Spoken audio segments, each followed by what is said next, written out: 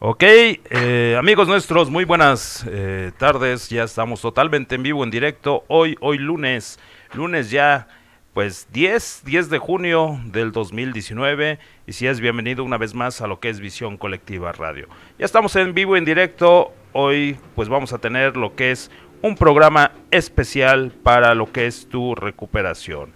El día de hoy el teléfono en cabina 7651-2916, 7651-2916. Es la multilínea que el día de hoy está a tu disposición y pues vamos a arrancar. Hoy tenemos invitada de lujo, así es que pues eh, agradecemos a todos los que hacen posible este programa y especiales a ti que ya nos está sintonizando ahí en el Facebook, en el YouTube y en el Twitter. Y bien, pues vamos a arrancar porque estamos totalmente en vivo y para mí es un gusto y un placer mandar cámaras y micrófonos del otro lado del cristal con mi estimado doctor David López, quien en este momento él se hace cargo del programa. Adelante, doctor. Buenas tardes, tengan todos ustedes. Para mí es grato un día más estar aquí en estos micrófonos a través de Visión Colectiva Radio y sobre todo a través de tu teléfono, de tu computadora desde allá que nos estás eh, pues viendo y llevar un programa más, un programa más que te puede ayudar, que te puede un momento sacar de tus dudas. Y el día de hoy tenemos una invitada, ¿sí? la doctora Lilia Viridiana, que ya ha estado con nosotros, ¿sí? Ella es, este, está egresada en la escuela, en la Facultad de Estudios Superiores eh, Zaragoza, ¿sí? Por parte de la universidad y sobre todo ha, llevado varios varios cursos y cursos sobre de alguna manera o diplomados sobre sobre la diabetes porque estamos hemos estado hablando con la diabetes de la diabetes desde hace ocho días pero hoy es un tema especial. Bienvenida doctora. Hola buenas tardes. Y, y para nosotros es grato que estés nuevamente con nosotros doctora para que nos puedas este eh, llevar a cabo estos estos temas Gracias, gracias a la doctora Paz, que es el convenio para poder que puedan ustedes venir para poder este darle a la comunidad, darle a la población esa información tan importante que es. y bueno, pues, Honoria. claro que sí, sobre todo a ella. Y bueno, quiero darle eh, de alguna manera, este, gracias, gracias a Visión Colectiva que se ha estado llevando todos estos temas y ojalá ojalá y te sirvan te sirvan para que puedas un momento dado sacar esas dudas puedas a poder poderte apoyar. Y sobre todo si tienes alguna enfermedad como hoy estamos hablando de la diabetes. Pero hoy algo bien especial. Vamos a hablar sobre la nutrición del diabético. Pues bienvenido bienvenida doctora.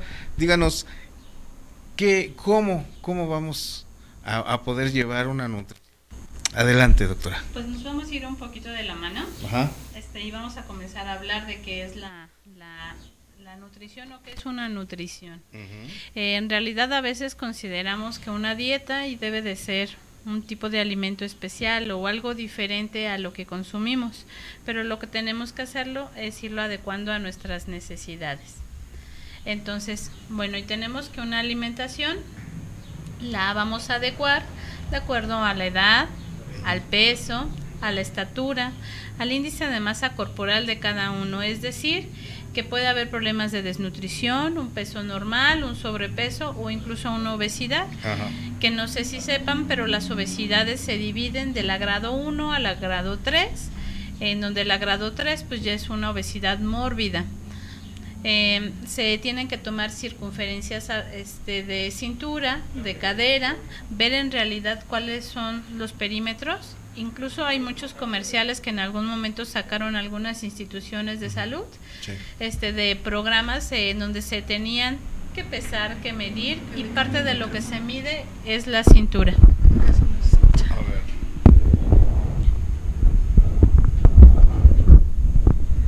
Bueno, entonces lo que vamos a hacer, aparte de, tomar en cuenta estas características, son laboratorios. Ver si no es un pacientito que tiene anemia, esto lo vamos a saber con una biometría hemática, ver si tiene colesterol, triglicéridos eh, o, o, algún problema descompensado en cuanto a grasas, que se tomarían perfiles de lípidos estos estudios eh, tienen que van de acuerdo al problema que tiene de la diabetes. Sí, de forma específica se solicitan, por ejemplo, es un adolescente que a lo mejor es diabético, tiene una diabetes tipo 1, necesitamos ver si tiene anemia, hacer una biometría hemática y su química sanguínea, de diferentes elementos de acuerdo a, qué tan estable esté. Eso es, ok. ¿Nos pasan la siguiente, por favor? Bueno, existen diferentes formas para calcular el consumo de calorías. Existen muchas y muchas muy complejas que obviamente se lo vamos a dejar a los nutriólogos, que son los especialistas. Me encontré esta, que es una muy rápida, que nos habla de mujeres normales, bueno, mujeres con actividades normales, mujeres con actividades con ejercicio, varones con actividades normales, varones con actividad con ejercicio y niños, que van de, de 3 a 10 años y nos lo dividen en niños y en niñas. Es muy sencillo, incluso del lado de los recuadros azules vienen los ejemplos. Es el peso en kilogramos y lo vamos a multiplicar por, por una constante. En este caso, una mujer que no realiza mayor actividad física que salir, trabajar, hacer la comida, este, estar con los niños, pero que no hace ejercicio, lo vamos a multiplicar por 20. entonces, en una idea de que pesa 50 kilos, o en un ejemplo, por 20 quedan mil calorías al día, que es lo que va a consumir. Entonces mi dieta debe de ir en base a esas mil calorías y cómo las voy a distribuir en los cinco alimentos del día, que son tres comidas principales y dos colaciones. Lo mismo pasa en hombres, si, si realizo alguna actividad física o no la realizo. Y en niños es un, pareciera un poquito más complicado, sin embargo, y no lo es. Sí en, en, este caso, por ejemplo, en una niña que pesa 22 kilos por 20.15, que nos da 446, más 485, lo único que vamos haciendo es rellenar el peso en nuestra fórmula y al final nos quedan 90, este, 932 calorías. Hay que tener en cuenta que en parámetros especiales, cuando hay problemas de obesidad, este, hay que reducir calorías, 500 calorías a la dieta. Por ejemplo, con 50 kilos, si, si esta paciente mide 1,50, pues está dentro de su peso ideal, más o menos un índice de masa corporal de 25, no tendríamos problema. Pero si pesara 80 kilos y mide 1,50, ya tendríamos un índice más alto. Entonces, a la cantidad de calorías que debería consumir, que andarían como en 2500, tendríamos que reducirle 500 calorías para que pueda ir disminuyendo peso. Ok. Esto, doctora, porque de alguna manera sabemos que la diabetes, la acumulación de grasa, esa, grasa que se vuelve después eh, azúcares, y esto puede provocar que sus organismos empiecen a trabajar más rápido. Si estoy equivocado, dígame, dígame, dígame. Los alimentos se convierten en energía. Energía, exacto. Mm, sin embargo, si, si al momento de consumir el alimento que se convirtió ya en azúcar, no lo utilizamos, en vez de convertirse en energía, se va a convertir en grasa y, la grasita que más se acumula es la grasita abdominal. Por eso es importante medir la circunferencia abdominal. Así es. Entonces, por eso es que estamos hablando sobre, o está hablando en este caso la doctora sobre, sobre cuántas calorías debemos de consumir y debemos de tener. Y estamos hablando de las personas que tienen problemas de diabetes. De diabetes. ok. Adelante, doctora. Bueno, existen tres tipos de, de grupos alimentarios esto creo que lo vemos este, incluso con los niños en la primaria, en el kinder, el plato del buen comer. nos los dividen hasta por colores, lo, mismo que un semáforo. En el verde, que es el grupo 1, tenemos a las verduras y a las frutas. En el 2 tenemos a los cereales y a los tubérculos, que ya no lo marcan en amarillo. Ya sería un preventivo, que sí debo de consumirlas, pero no en cantidades tan grandes. Y finalmente, el grupo 3, que estamos hablando de leguminosas, que son productos este, leguminosas y productos de origen animal. Las leguminosas, bueno, aquí incluimos al frijol, la lava, la lenteja que son muy buenas, que nos proporcionan proteínas, pero no necesitamos tantas proteínas. Entonces, por eso no lo marcan en rojo, porque a veces consumimos más de lo que nuestro cuerpo necesita. Ok, entonces, verde, podemos comer de eso cantidades ilimitadas de verduras. Frutas ya un poquito más limitadas, porque en diabéticos recordemos que les tiende a subir la glucosa. Así es. la, sabemos que la, los, los eh, las frutas tienen muchos azúcares. ¿sí? Eh, Mientras más madura es la fruta, más azúcar tiene. Muchas veces los, este, eh, algunas personas diabéticas dicen, me voy a, tomar un juguito. Pero si se toman un jugo, el jugo recordemos que es como de 5, 6, 7 naranjas. Hay que tener cuidado con los jugos. Y al menos una, una sí podemos. Eso es. Ok, adelante. ¿En cantidades pequeñas? Sí. Nos pasan la siguiente, por favor. Resulta que nuestros grupos de alimentos nos van a proporcionar algo que se llaman nutrientes esenciales. Entonces, el grupo 1, 2 y 3 nos van a proporcionar lo que se llaman hidratos de carbono, lípidos, proteínas, vitaminas y minerales. Entonces, cuando yo consumo un alimento, yo consumo una verdura, una fruta, una carne, esto se va a desdoblar en hidratos de carbono, lípidos, proteínas, minerales y vitaminas. En el mismo alimento podemos tener de todo. No necesariamente tiene que ser algo diferente. Me comí un trocito, esto es una rebanada de pastel. Ya llevamos los carbohidratos del pan, ya tenemos los lípidos de la mantequilla, y llevamos las proteínas de la leche y del huevo. Entonces, en un solo alimento puede haber todos estos nutrientes esenciales. Resulta que por cada gramo de hidratos de carbono son 4 kilocalorías.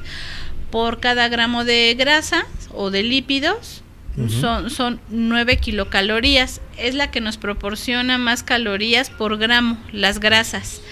Las proteínas por gramo igual son 4 kilocalorías. Y las vitaminas y minerales, bueno, lo que van a hacer es fortalecer y favorecer que nuestro cuerpo esté en equilibrio, más que proporcionarnos calorías. Así es. Entonces, se dan cuenta, amigos, los que estamos acostumbrados a las fritangas, pues tenemos que empezar a, hacer modificaciones. modificar. Y al principio es difícil, pero con el tiempo se va, se va logrando poco a poco. Y me dirán, bueno, ¿y por qué usted no lo hace? Vamos Porque es difícil. sí, es difícil. ¿Me pasan la siguiente, por favor? Bueno, y vamos a comenzar a hablar de cada uno de estos nutrimentos esenciales. Encontramos a los hidratos de carbono, pudiéramos decir, bueno, ¿eso qué, no? ¿O para qué me sirve? Bueno, pues resulta que los hidratos de carbono los encontramos en las frutas, en las azúcares, en los cereales, en los tubérculos, en las leguminosas, en la leche, en el yogur, en las verduras. No solamente es un alimento que nos proporciona este y que nos puede hacer subir de peso o, engordar y sino más bien es un alimento que nos produce una energía rápida. Este entonces su principal función es esa proporcionar energía al organismo y, aportar fibra.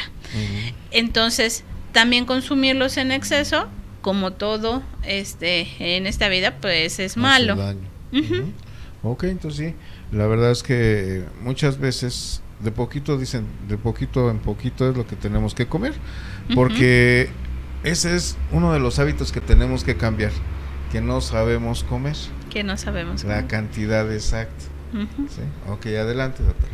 Bueno, en lo que es el grupo de las grasas, este y vamos a encontrar eh, lo que son las grasas saturadas. Nos pasan la siguiente, por favor. Que son las grasas de origen animal, eh, lo que es el coco, lo que es la palma.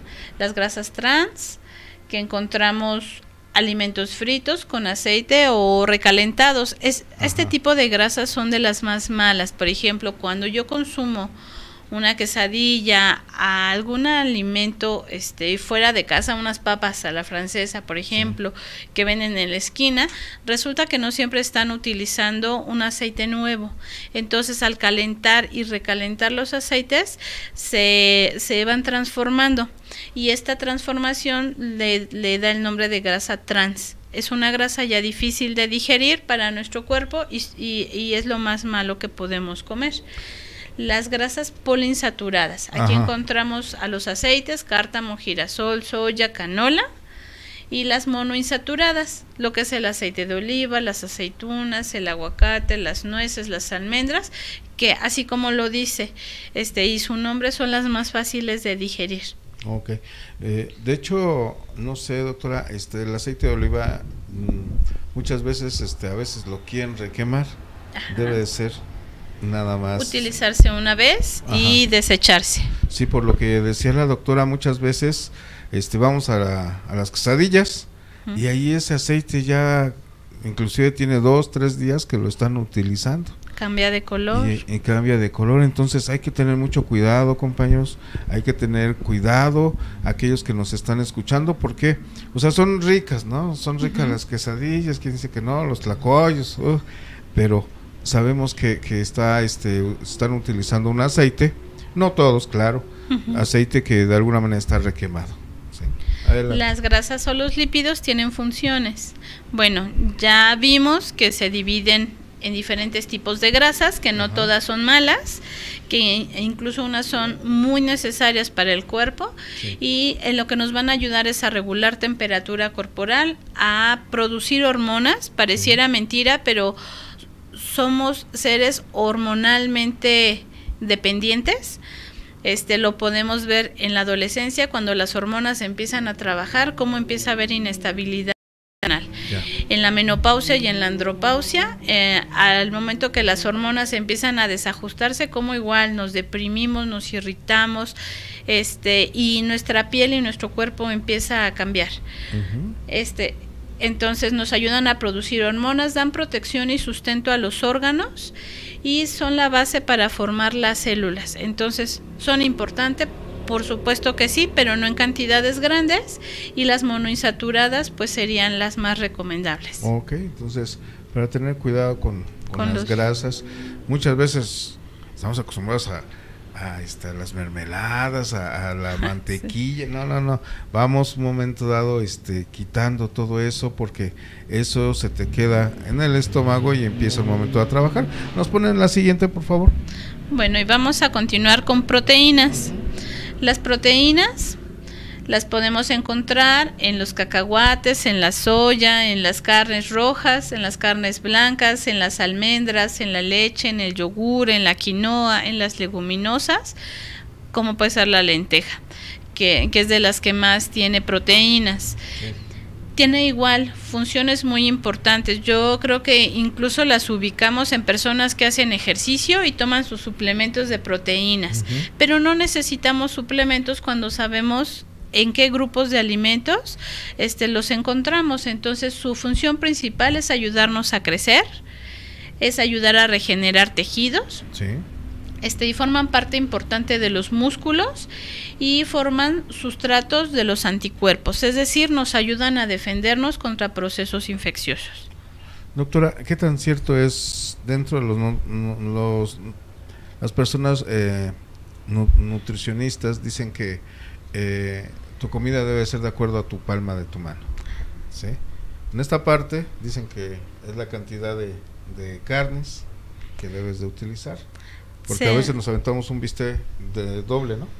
Sí, no, y se, se habla de 30 gramos o del tamaño de la palma de la mano, lo cual hace una circunferencia que no debe de pasar la línea del dedo gordito. Ah, Esa es la porción de cada 24 horas de proteínas. Pero, por ejemplo, si ya en la mañana me comí un plato de frijoles y en la tarde combino lentejas con un trozo de carne, ya cuánto excedí la cantidad de proteínas que necesita mi cuerpo ya nos pasamos. así que tengan cuidado, amigos, tengan cuidado para que en un momento no, no este, desequilibren, en este caso, la alimentación. Adelante, doctora.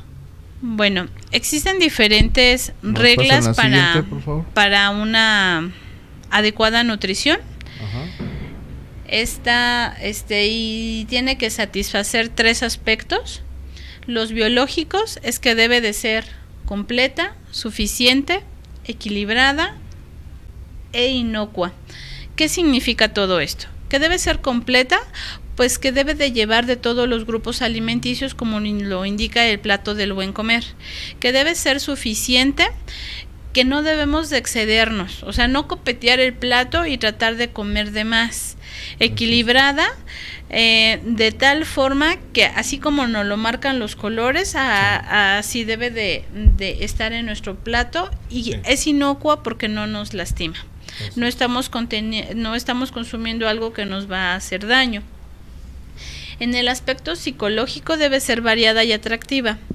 Esta parte es muy importante para los niños si a un niño le damos lo mismo todo el tiempo, se acaba aburriendo. Por eso dejan las tortas en el lunch, por eso este ya no se quieren comer los sándwiches, este y los regresan o se los dan a los compañeritos. Entonces, deben de ser atractivas a la vista. En algún momento hay revistas en donde hasta dinosaurios, ¿no? Con jitomates con lechuga, de, de tal forma que los niños quieran comerla pero no es algo diferente para un adulto y no es algo diferente para un adulto con diabetes.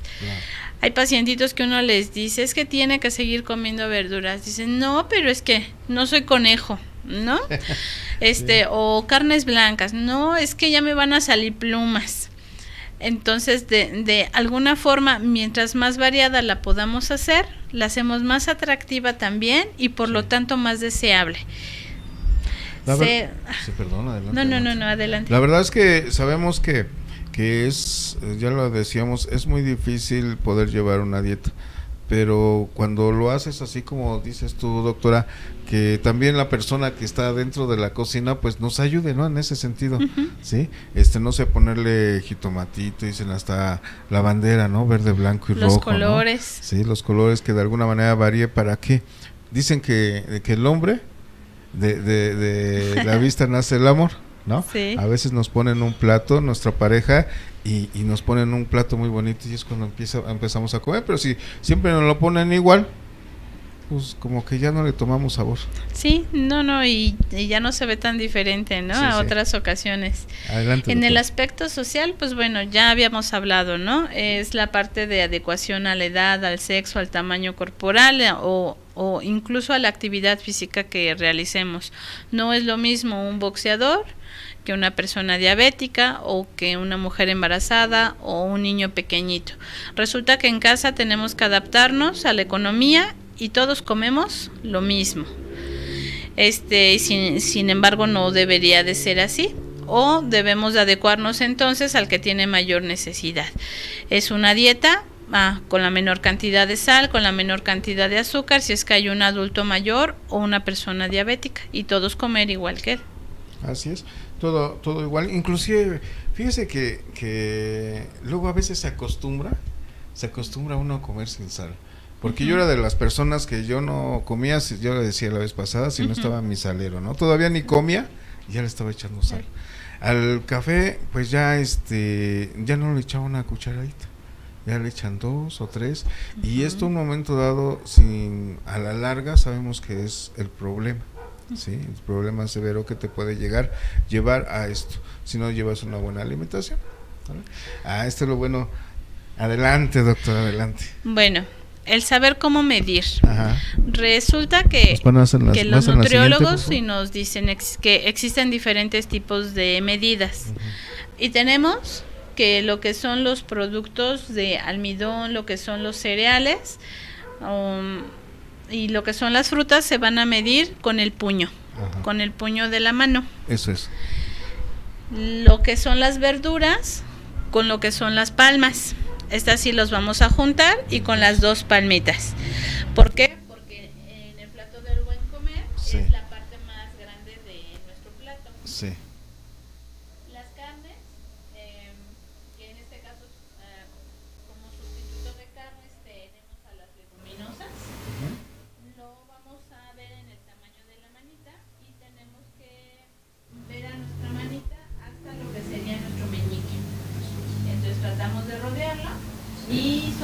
y no debe de pasar lo que es la primera línea de Lo que son las grasas tienen un límite. Estamos hablando de la yemita del el dedo gordo. Esa es la cantidad de grasas que debemos de consumir cada 24 horas. No más. No más. No. Y de la leche y los productos lácteos, sí. se deben de llevar por cada 200 cada 250 mililitros. ¿Ya se oye mejor, cabina? ¿Sí? Bueno, entonces resulta que esto los vamos a medir por tazas. Em, entonces, al momento de que se nos indica una dieta, debemos de tener en cuenta estas medidas para poder equilibrar la forma en la que estamos comiendo o estamos consumiendo alimentos. ¿Me pasan la siguiente, por favor? Se nos dan diferentes recomendaciones. Y a lo mejor esto ahorita de las medidas lo vamos a aplicar a una dieta, a un ejemplo para que sea un poquito más fácil y nos quede más entendible. En cuanto a las recomendaciones, bueno, y debemos de tener en cuenta que hay que comer con gusto, comer despacio y masticar. Todo esto pareciera poco importante, pero a la hora de la digestión y de realizar este todos los cambios metabólicos, nuestro cuerpecito necesita que se realice así. Si yo me como algo con desagrado, también afecta el proceso digestivo. Si yo lo como muy rápido y prácticamente estoy más que deglutiendo, tragando, pues resulta que también mi intestino pues no puede trabajar también y termino con problemas de colitis o estreñimiento. El saborear en bocados pequeños. No comer demasiado. Hay personas que hasta ya no les cabe, ¿no? Y tratan de meter más en su boquita. Entonces, bocados pequeños para poder masticar bien.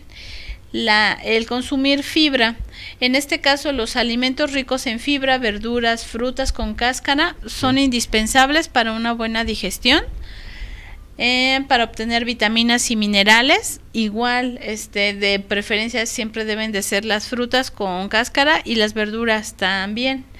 Antes de cocinar, pues quitar la grasa de la carne y retirar la piel del pollo o del pavo. La parte superior de los alimentos suelta un poquito de grasa al momento de comenzar a cocerse o este ya que está, está empezando a hervir, hay que retirarla con una cucharita o con una toallita de papel se debe de evitar las grasas trans, esas ya las habíamos hablado. Este, y también el comer en cantidades excesivas los hidratos de carbono. También se les llaman hidratos de carbono desfavorables. Aquellos que contienen este muchas harinas refinadas, todo todo lo comercial, todo lo que le podemos poner a nuestros pequeños, ¿no? Este, los pastelitos y demás que venden en las tiendas, refrescos, caramelos, chocolates, pasteles, todo esto entra dentro de hidratos de carbono desfavorables y por lo tanto si se pueden evitar es lo mejor. Claro, sí. A veces este el niño no come bien y a veces hasta lo premiamos, ¿no? Lo premiamos con un pastelito y con un refresco, ¿no? A veces porque el niño dice decimos, es que no se no se llenó y va creciendo y se queda con ese hábito, ¿sí? De que necesita un postre, entre comillas, pero es un pastelito y más aparte, en vez de agua, tomar agua simple. Su refresco. Su, refresco, ¿no? Adelante, doctor. Bueno, y vamos a comenzar con un ejemplo de una dieta. Esta se tomó de... Nosotros hablábamos que nos basamos en guías de práctica clínica, no es algo empírico, este no lo tomé a lo mejor de un nutriólogo en cuanto a su experiencia porque necesito que sea una fuente fidedigna. Esta guía de práctica clínica es de el IMSS, es la 751-15 y se llama dietoterapia y alimentos para pacientes con diabetes mellitus. Entonces nos pone un ejemplo de a partir de las 8 de la mañana lo que sería un desayuno.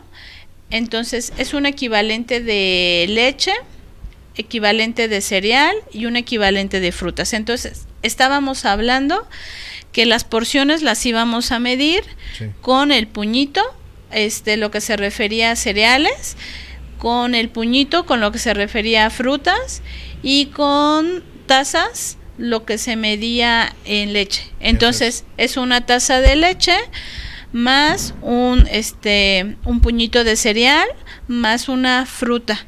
Las frutas las pudiéramos medir. una toronja, por ejemplo, es este es mm, la mitad de una toronja es una fruta.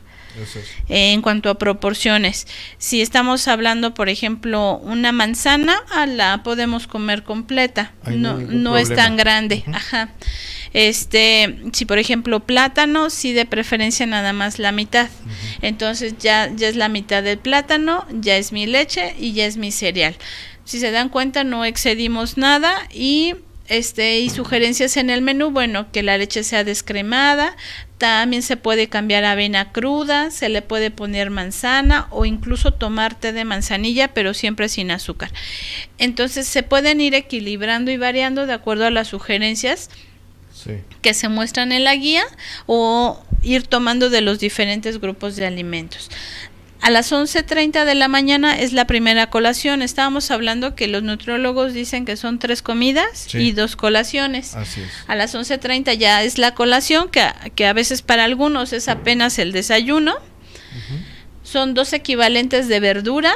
Entonces, si estábamos hablando que las verduras son dos palmitas, ¿qué cantidad de verduras estamos consumiendo? Pareciera poquita, pero no, sí es más vasta este, un equivalente de cereal, dos equivalentes de carnes, aquí sí son dos, dos porciones de lo de la manita y un equivalente de grasas, que sería lo de la huellita del dedo, ¿no? Este, aquí nos ponen como ejemplo una ensalada de queso, tres tazas de lechuga, media taza de pepinos, cuatro galletitas integrales, un poquito de queso panela, allí ponen 80 gramos, un tercio de pieza de, de aguacate, 5 cucharadas de ajonjolí tostado y agua con limón sin azúcar. Entonces, pareciera muy poquito, pero si se dan cuenta en esto ya encontramos de todos los grupos alimenticios y en realidad no es tan poquito lo que estamos comiendo. Si nos llenamos, quedamos satisfechos y es algo muy nutritivo nos vamos a la comida.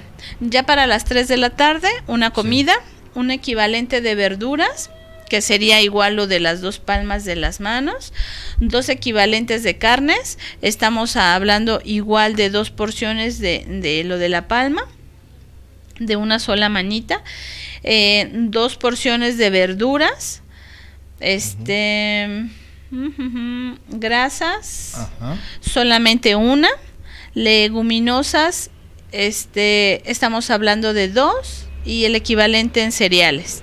Entonces nos vamos del otro lado y vamos a ver. El ejemplo aquí sería un, una taza de sopa de verduras, um, un, plato con pollo en salsa, verde, con nopales, una pieza chica de una pieza de pollo, que lleva su taza de nopales, que lleva y media taza de salsa verde, sus dos cucharadas de aceite para guisar, de preferencia de origen vegetal, una tercera parte de frijoles, dos piezas de tortillas de maíz y su agua de Jamaica sin azúcar. Entonces, pues prácticamente es una comida, es muy completa y tampoco estamos así como que muriendo de hambre, estamos equilibrando y nos va a ayudar a mantener en todo momento la glucemia. Eso es. Para un momento dado, este, mantenernos. Ajá, que, no se esté elevando. Que, no esté elevando demasiado si comemos. Y que tampoco baje. tampoco se baje. tú lo decías la vez pasada, doctora. O sea, no, mm, es más peligroso que se baje la, hipoglucemia que, que suba y, por eso tenemos que tener esas colaciones. A veces eh, somos diabéticos y no le tomamos importancia. Sí. sí. Decimos, no, hasta llegar a mi casa, no, algo tienes que comer. Sí, de cualquier forma. Y es más, hay personas que llegan a consumir este sus medicamentos sin, sin, sin comer algo. O que se llegan a aplicar su insulina y se esperan hasta media hora, 15 minutos hasta que está la comida para, para comer algo. Y eso también les puede hacer daño. Debe ser inmediato. Ajá. sí, yo ya voy a comer, ya me siento y en ese momento me la aplican. Eso es. Ok. Em, ya, ya para terminar, pues ya nos quedamos con la cena y con la última colación. A las 7 de la noche es la cena, algo parecido a como lo hacen en los hospitales, así debería de ser para favorecer la digestión. Un equivalente de carne, lo, que es el cereal, lo que es un equivalente de verduras, una porción de grasa y un equivalente de frutas, prácticamente de todos los grupos. Y hablamos de una quesadillita de 40 gramos con queso panela, con su tortilla de maíz, media taza de chayotes salteados con una cucharadita de aceite de olivo y media toronja. Em, ya para las 10 de la noche se debe de hacer otra cena. Hablábamos la vez pasada que se presenta un efecto más o menos a las 3 de la mañana de hiperglucemias. Hay que tratar de estar consumiendo alimentos, este, pero también no excedernos en la colación, ¿no? Entonces, aquí es muy muy bajito, son dos equivalentes de cereales, uno de carnes, un este dos equivalentes de verduras y tantitita grasa, ¿no? Un equivalente de grasa, lo que sería un dedito. Este es un sándwich de jamón, son dos piezas de pan integral que equivalen obviamente las dos rebanadas de, de, el pan, las dos rebanadas de jabón, de jamón, bajo, en grasa, una taza de lechuga y media pieza de jitomate, media taza de brócoli cocido y una cucharadita de mayonesa. Entonces, no, no se ve tan mal, ¿no? Incluso se ve atractivo, es muy nutritivo y empezamos al día siguiente a las 8 de la mañana una nueva comida. Ajá. Entonces, eh, si se dan cuenta, este, nunca deja de comer. Aquellos que se preocupan que, vale, voy a dejar de comer. Voy a bajar de peso y dejo de comer, ¿no? Me salto desayuno, comida. Y... No, más que nada, aquí lo único que vas a cambiar son tus hábitos. Sí, hábitos. A lo mejor te gustan más las grasas. Bueno, pues hoy vas a comer más vegetales. las porciones. Y, sobre todo las porciones, ¿no? Que no estamos acostumbrados, estamos acostumbrados no a comer, dicen por ahí, a tragar. Sí, tacos. Sí, y, demasiado. Ajá. Ok.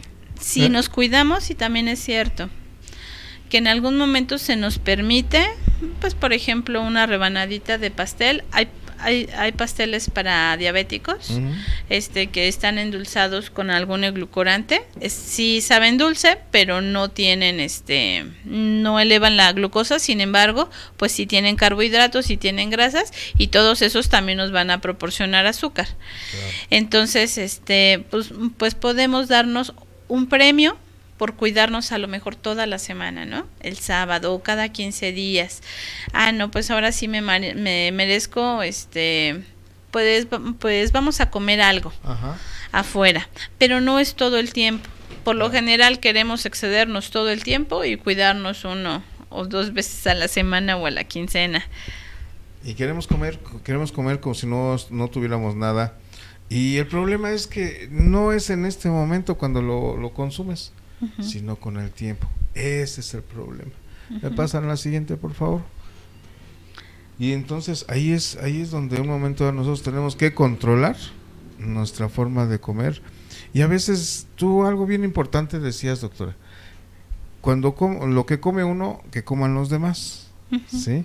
Y además van a comer rico y van a empezar a comer los pequeños algo nutritivo.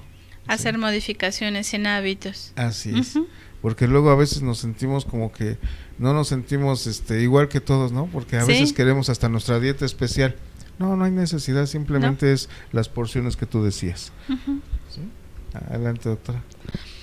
Existen diferentes revistas que incluso en internet podemos encontrar, este, como cocina con diabetes. O sea, no sé, no sé en realidad ni siquiera qué, qué editorial es pero es una revista que es muy común, es muy frecuente y las podemos encontrar a veces hasta en, este, en revistas reutilizables, ¿no? No necesitamos ni gastar tanto y nos pueden dar recomendaciones de cómo ir equilibrando. Este, hay sándwiches de nopal, por ejemplo, el nopal puede actuar como las pastas de, de el pan y ya en medio pues va la lechuga, va el jitomate. Esto lo utilizan mucho los vegetarianos. Sí, claro. Y la verdad es que es muy sabroso a veces cómo utilizarlo, ¿no? O, los tlacoyos. El pensar, el decir, es que no, no quiero comer esto porque me va a hacer daño. Pero si yo combino un tlacoyo pequeño, obviamente con sus frijoles y con sus nopales, pues ya prácticamente ahí ya tengo de todos los grupos alimenticios. Así es. Y, sin darse cuenta están comiendo rico. Y nutritivo. Y nutritivo. ¿sí? No hay necesidad de que te compres tu guarache de a kilómetro, ¿no? Ah, no, porciones pequeñas. un tlacoyo normal. Sí, porque luego a veces este, nos confunden y usted dijo. Usted me dijo que un tlacoyo. Bueno, sí, es muy, muy diferente. Entonces, la verdad sí tienen, tenemos que tener mucho cuidado en nuestra forma de, de comer, de alimentarnos. Sí, comenzar a cambiar nuestra mentalidad. El, el, el, el, darnos cuenta que si nos cuidamos, que si nos atendemos, no es el hoy y no es el ahora, es el que viene, no es el siguiente año, dentro de cinco, dentro de diez, ¿cómo voy a estar? Porque ahí tengo pacientitos en la consulta que sí llegan a decir, es que cuando me dijeron que era diabético, pues yo me di cuenta que yo podía seguir comiendo de todo y que no me pasaba nada. Este, ya habíamos mencionado que los cambios no son en ese momento, son a futuro.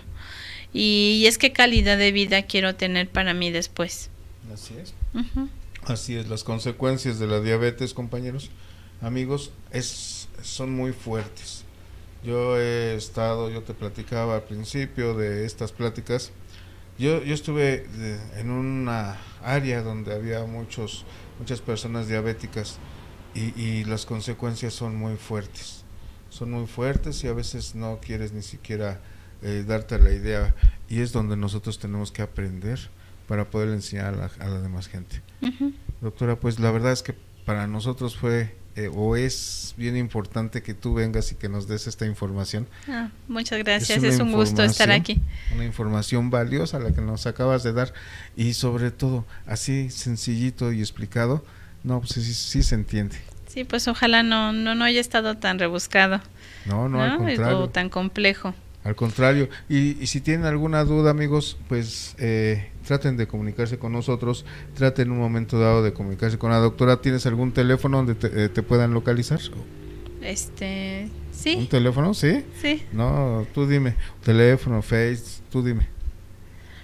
Mm, Brisalas es mi Face. Ok. Y si gustan, Ajá. puede ser ahí. Eh, de igual forma doy consulta en el Centro de Salud de Loma Bonita. Ajá estamos ahí de lunes a viernes, de 8 de la mañana a 3 y media de la tarde. Y bueno, pues cualquier eh, duda, cualquier pregunta. Así es, que tengas alguna duda, alguna este si no pues con ustedes y ya les ayudo claro a contestarlas. Claro que sí. Y bueno, pues la verdad ojalá y tengas esas dudas, pues trates de disiparlas, trates un momento dado de comunicarte con nosotros o con ella directamente para que puedas un momento dado este poder estar mejor en cuanto a tu salud, porque recordemos que esto esto estos esto este programa fue hecho para eso para que de alguna manera puedas dar esa información. Sí, bueno, o sea, a final de cuentas la, finalidad y el estar aquí y, que la gente nos regale un poco de su tiempo es eso.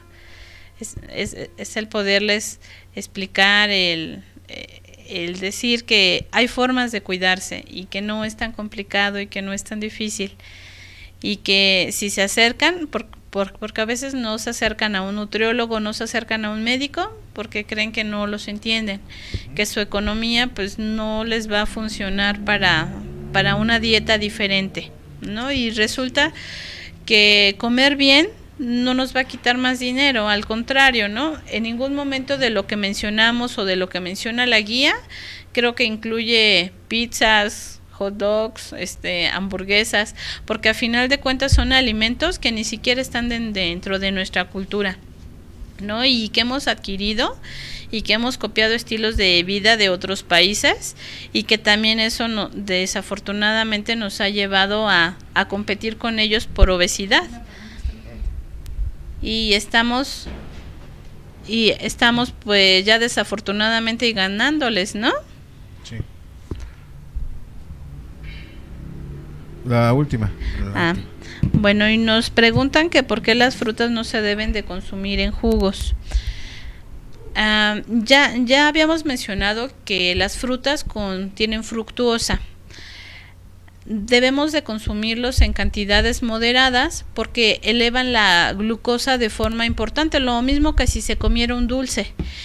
Entonces, si por ejemplo yo lo que hago es meter a un extractor y tomarme un vaso completo de jugo de naranja, la cantidad de glucosa que tiene ese jugo, hasta a lo mejor en un medio litro, es mucha. Estamos hablando a lo mejor al equivalente de un vaso de refresco de, de X marca. Entonces, no es el no consumirlo, es que desafortunadamente no lo comemos en cantidades pequeñas. Entonces puede ser un, la mitad de una taza, que serían unos 125 mililitros, y con eso ya le proporciona la energía suficiente como de, que serán como de dos naranjas. Eso es. Sí, entonces es por eso que... Es en cantidades pequeñas. Así es. Que es lo que mencionábamos, no es el no comerlo, es el que estamos acostumbrados a comerlo en cantidades grandes. La zanahoria también es muy dulce. Por ejemplo, yo me tomo un jugo de zanahoria o me tomo un vampiro, lo combinamos con betabel, resulta que también son muy dulces. Entonces son en cantidades pequeñitas y siempre debemos de combinar todas estas dietas con agua. Eso es, sobre todo el agua, el agua nos va a ayudar y evitar, evitar este, pues tomar el café con azúcar, eh, demasiada mermelada, eh, porque es, la verdad nos gusta, ¿sí? nos gusta. Y, y, algo que muchas veces eh, a mí me han preguntado, Doc, ¿por qué en un momento dado aquella persona que ha dejado de beber siempre, casi siempre, no sé por qué, pero siempre les da diabetes? Recordemos que esta persona, doctora, ¿qué es lo que pasa? Durante todo mucho tiempo estuvo tomando este glucosa y en altas cantidades y llega el momento en que su, organismo ya no, su páncreas ya no empieza a, trabajar para poder desdoblar esos, esos azúcares. Efectivamente, incluso el páncreas se puede dañar y las células que están en él, que son las que producen la insulina, produce una insulina deficiente o simplemente ya no la produce. Aparte el hígado, que es donde se metaboliza y se desdoblan todos los alimentos y se convierten en estos micronutrimentos, pues resulta que el hígado ya tampoco funciona adecuadamente, porque se puede producir una este Mm, un daño hepático que a lo mejor va de menor a mayor grado y de acuerdo a esto pues es que tan bien o qué tan mal puede estar trabajando nuestro organismo. Así es. Entonces hay que, hay que tener mucho cuidado con lo que estamos haciendo, lo que estamos comiendo y sobre todo tenemos hijos. Hay que cuidar esos hijos. Hoy eh, en el programa anterior también nos decía la doctora, hoy encontramos jóvenes, niños con diabetes y hoy es, es lo más grave, ¿no? ¿sí? ¿Por qué? Porque de alguna manera su, su em, el alcance de vida se va disminuyendo. Y nosotros lo vamos haciendo a través de no saber comer. Claro, antes el diagnóstico para, para una persona a lo mejor era en un adulto mayor, ¿no? 60, 70 años le dijeron que era diabético y pues bueno, ya empieza con medicamento el abuelito, la abuelita. Actualmente ya son personas en edad reproductiva, personas entre los 20 hasta los 59 años que cada vez en mayor medida este, se, se va reduciendo la, la edad. Más triste, pues que también la tengamos en adolescentes y en niños. Este, entonces, desafortunadamente, pues bueno, ¿qué estamos haciendo? este, hay que hacer una introspección, ¿no? ¿Qué estoy haciendo bien? ¿Qué estoy haciendo mal? ¿Qué es lo que le hace falta, ¿no? A mi vida. Ejercicio, una buena alimentación, disminuir estrés, a lo mejor es todo, porque desafortunadamente así vivimos y nos acostumbramos a vivir de esa forma. Así es. Y algo que alguna vez también me preguntaban, doctora, eh, una persona que tiene diabetes tiene que hacer ejercicio. Sí. Pero cuando tiene la glucosa alta, ¿es recomendable? Sí. Sí. Ajá. Entonces, si se dan cuenta a través de eso, como es lo que vamos un momento dado, este, ayudándole a nuestro cuerpo, porque no se desdobla esa grasa a través de lo que estás haciendo ejercicio, estás eliminando todo eso y eso le vas a ayudar a tu cuerpo, ¿sí? A que esté trabajando mejor. A que ese azúcar se pueda utilizar mejor. Sí, porque muchos dicen, no, ya tengo diabetes, ya me siento, y, de por sí tenemos este sedentarismo en nuestra, nuestra casa, entonces este ya no queremos hacer nada. Y al contrario, amigos, tenemos que hacer ejercicio, aquellos que tenemos diabetes, aquellos que tienen, tenemos también problemas de, de, de presión alta, también a su modo, de acuerdo con nuestro médico y cuidar. Pues doctora, la verdad para mí es un gusto que estés aquí, la verdad, este, igual que tus compañeras las escucho. Y la verdad este para mí es grato cómo nos vienes y nos das esta información. Muchas gracias. Algo que le quieras decir a nuestro auditorio a través de todo esto, estos dos programas. No, no, no, que espero le sea de mucha utilidad y si en determinado momento no es con su servidora, todos tenemos un centro de salud cerca, este, el, apoyarnos, a lo mejor hay médicos con diferentes caracteres y siempre va a haber uno ideal para nosotros, este, a lo mejor a mí me gusta que me regañen, a lo mejor me gusta que no, que me hablen bonito y que no me regañen, entonces vaya y de acuerdo a nuestra personalidad, el, el atendernos, el no dejarnos, porque creemos que si no hay medicamento, o por lo menos a nosotros nos pasa en nuestras unidades, hay pacientitos que dicen, es que no hay medicamentos. ¿Para qué voy? Si no hay medicamento. Es que no es el ir por el medicamento. La consulta incluye mi revisión, el ver cómo estoy, qué tan controlada, qué tan descontrolada, qué modificaciones tengo que hacer en mi medicamento. Lo mismo que hacemos en una clínica particular o en un hospital es lo mismo que se hace en una consulta médica. Entonces, si, si no hay medicamento, desafortunadamente hemos tenido algunas situaciones complicadas. Este, eso no significa que es que, que no se deban de atender o de cuidarse. El seguirse tomando su medicamento o aplicárselo de la misma forma sin checarse no, no significa que lleven un control. ¿No? Entonces, este, pues el que se acerquen, el que tengan confianza y pues bueno, estamos para servirles. No, pues gracias, gracias doctora, pues de alguna manera, este, gracias por tu, por hayas venido a darnos esta información y sobre todo gracias por tu tiempo y tu espacio porque también tienes tienes familia, también tienes este consulta y que haces a un lado todo eso para venirnos a dar esta información. gracias, doctora. Gracias. Y bueno, amigos, pues quiero darte darte las gracias a aquellos que se han comunicado con nosotros, a aquellos que se van a comunicar y sobre todo en lo personal decirles que estoy bien, que de alguna manera no pasó nada, todo está bien, gracias a Dios y que sí, nos vemos aquí el próximo lunes a partir de las 5 de la tarde. Cuida tu cuerpo, cuida tu mente, cuida tu alma. Nos vemos aquí la próxima vez. Gracias. Doctora. Hasta luego. Gracias. Cuídese mucho. Gracias, gracias.